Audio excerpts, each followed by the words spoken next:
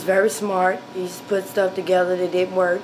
He liked to build. He loved cars, uh, electronics. Monkeeter Woods was trying to convince her oldest son, 24-year-old Ronnie Reed, to go to college. But Reed was fatally shot Saturday morning at Guardian Court Apartments. Monday morning, police arrested 24-year-old Terrence Downs and charged him with murder. Woods say the two men were involved with the same woman. He didn't even know who Terrence was until later, you know, and then guess they shook hands and Ronnie felt okay about the situation. And he kind of stuck around them and then they said so Ronnie turned his back. That's what happened, so.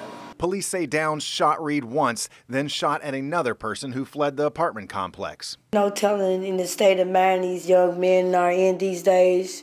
You don't know what kind of drugs and things that they might be doing or the kind of whatever people they might be socializing with. And then some people do that to try to get a, a heart on their sleeve or something, and it's not worth it. This isn't the first family member Woods has lost to gun violence. Reed's dad, Ronnie Reed Sr., was shot in 2007. Woods' brother, Dion Woods, shot in 2011.